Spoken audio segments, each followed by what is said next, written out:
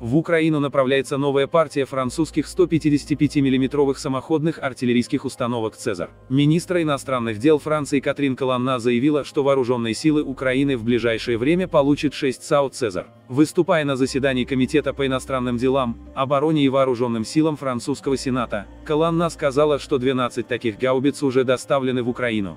Предполагаемая дата прибытия на территорию Украины арт-установок не уточняется. Мы решили не сообщать о всем нашем военном вкладе и оставить эту информацию для наших партнеров, сказала Катрин Колонна. С прибытием в Украину новой партии, украинские военные будут располагать 18 французскими установками «Цезарь». Эммануэль Макрон пообещал эту дополнительную партию САУ 16 июня во время визита в украинскую столицу. С начала полномасштабного вторжения России в Украину, Париж поставил в Киев, кроме САУ «Цезарь», противотанковые ракеты «Милан» и зенитные ракеты «Мистраль». В конце июня министр обороны Себастьян Лекарню заявил, что Франция также намерена отправить значительное количество бронетранспортеров. Также французская компания Метия передаст Украине 36 легкосборных мостов длиной от 23 до 46 метров для восстановления разрушенной инфраструктуры. «Цезарь» — это французская 155 миллиметровая самоходная артиллерийская установка, предназначенная для уничтожения живой силы, артиллерийских батарей, а также обеспечения проходов минными полями и полевыми заграждениями.